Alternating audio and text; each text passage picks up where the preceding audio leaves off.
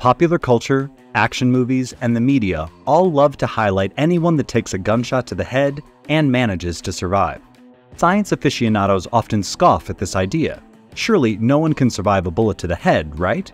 Statistically speaking, that is correct 95% of the time.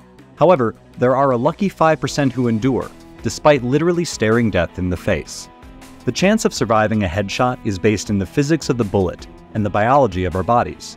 Thus, a person's odds of surviving a headshot trauma depend on the type and size of the bullet, its velocity, its trajectory, and the entry and exit point of the bullet.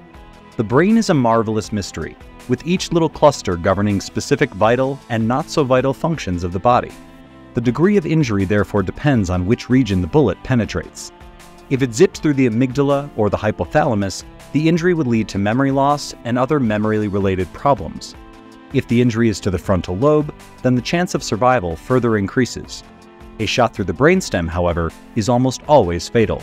There is also a much greater chance of surviving a front to back gunshot than a gunshot received from the side.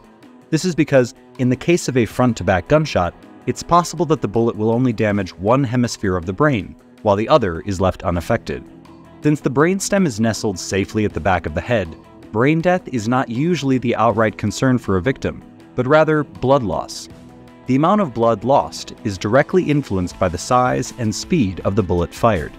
If a high-speed bullet is fired into the skull, the skull bears the full brunt of the force, leading to skull fractures.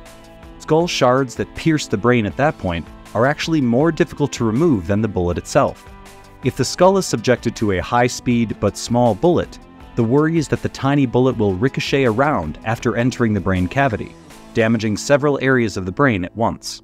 Clearly, the mass and velocity of the bullet help to determine the fatality of the gunshot. This may explain why an injury inflicted by a fast-moving and heavy bullet is more likely to be lethal. The velocity of the bullet depends on the firearm being used.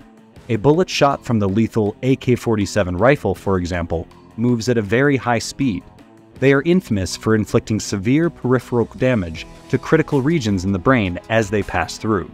As mentioned earlier, blood loss is the real villain in the headshot scenario, but there is a window of a few minutes wherein the victim can remain conscious and survive, provided they receive emergency medical attention. Neurosurgeons state that victims stand a better chance to survive a headshot if they can continue breathing and their blood pressure does not drop too low. Both functions are essential to ensure an adequate supply of oxygen to the brain during the trauma. Basically, there is a chance, albeit a very slim one, to survive a gunshot to the head. However, the aftermath of surviving a gunshot is scary. No patient comes out of such a terrible injury unscathed, which is why gun violence and responsible ownership are critical issues that must be addressed around the world.